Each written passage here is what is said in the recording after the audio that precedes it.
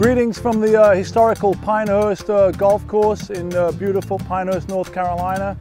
I'm Magnus Walker and I'm here at the uh, Saturday Morning Cars and Coffee at the second annual Pinehurst Concours. Just a great setting with great people and great cars and I think what's going on here at Pinehurst is first of all the setting's spectacular. We're on this historic golf course now and it's what I call Southern charm and hospitality. The great thing about being down here in North Carolina is the people. So the people combined with a great setting, a great environment and spectacular cars is really, really hard to beat. For one, it's easy to get around, it's lush, people are super friendly, and I, I think what Jay and Bob are building here is going to be, you know, one of the top three shows in the country. I had owned that car for about four or five years and uh, last year it sort of left LA and uh, found its new home in uh, Durham, North Carolina. And uh, I was reunited with it last October when I was down here for the North Carolina Museum of Art Porsche by Design Seducing Speed exhibit.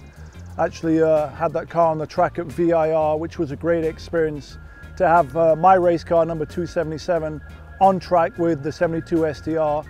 So that was a really memorable moment. And Yesterday I actually got to drive the car for the first time probably in six months. I drove it from Pinehurst, from the Carolina Hotel down to Fort Bragg, spent an afternoon at Fort Bragg and then drove it back. So it was just really a, a memorable moment getting behind the wheel of a car that I'd built and owned and uh, just nice driving in, in a different region of the country.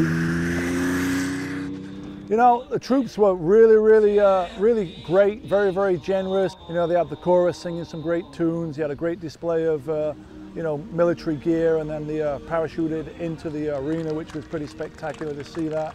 And the troops were just super friendly. Quite a lot of them had actually seen Urban Outlaw. A few of them had seen the car. They'd seen Jay Leno drive it and various other people drive the car.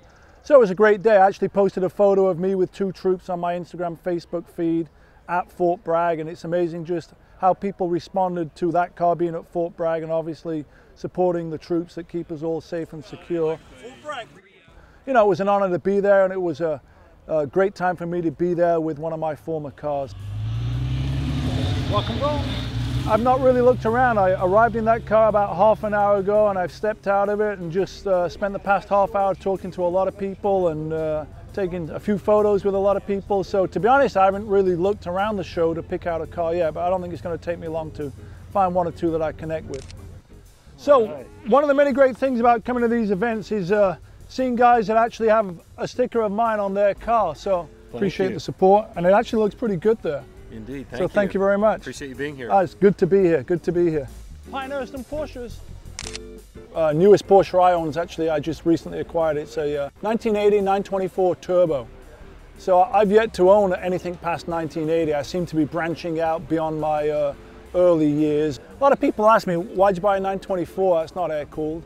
I like to experience everything Porsche has to offer. So my goal is I'm searching for a, got the 924, I want to get a 944 and I also get, want to get a 928. That way I'm experiencing uh, front-engined, water-cooled Porsches, which is something I've driven before but I've never owned. So now I'm about variety. I've covered the early years. I've sort of ticked that collection off my list. I have one more car to get for my uh, Turbo Fever collection. That's a 75 Turbo. And I'd really like to get behind the wheel of uh, you know, something more modern. This is a car that's currently on my wish list, a 996 GT3. So I think this represents a uh, boatload of performance right here, a lot of bang for the buck I like to say. Porsches always look great in silver, but look really great in yellow too. Stepping back uh, perhaps to a car more of my uh, era of sort of preference, I actually own an Irish Green 66 911. This appears to be uh, Irish green, which is, uh, I think, a great color. You know, it's a little bit like British racing green, but I guess uh, Porsche couldn't really call it that, so Irish green is what it is. And uh, I've never owned a 914, but I do have one of these cars on my list as well.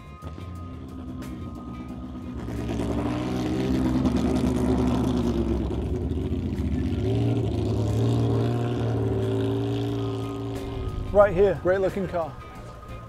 I saw this car on the rally yesterday. You know, I drove down to Fort Bragg and I did see this car and uh, it just looks pretty spectacular. I love the rally stripes. Those stripes are early Porsche colors. I wanted to Yeah, it's a great color combo. I didn't notice it had the 69 door handles and it was a first year long wheelbase car. I love the uh, wheels you've got on it. Just really a spectacular looking car. Very tastefully done with the interior as well, matching. You know, the hard part was knowing when to stop. Yeah. One more sticker. Yeah, yeah, be, uh, yeah. Well, you probably need one more, the Urban Outlaw sticker somewhere on it.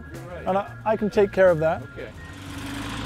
Uh-oh, we got a GT3 RS back to a new car, but uh, that's quite striking right there. And I know these cars are, uh, they pack a, a big punch. So as you're sensing, I'm sort of drawn to these uh, more racy uh, models that Porsche has in the range. But I also, as I said earlier on my wish list was a 928, and it does look like we got one right there. 928, I think, is just another iconic Porsche, you know, and uh, as I was saying earlier, part of uh, where I'm at right now is the variety of Porsche ownership. I have the 924, the next car I'm going for is the uh, 944 Turbo S 1980, and then also on the list is a 928 5-speed, along with a 914 or 914-6 and uh, 996 GT3 or GT2. And uh, that sort of is covering my bases of uh, Porsches that are on the wish list. And uh, I seem to have found quite a few of them here at the uh, Cars and Coffee event on the Saturday of uh, the Pinehurst Concours weekend in beautiful Pinehurst, North Carolina. So get yourself down here.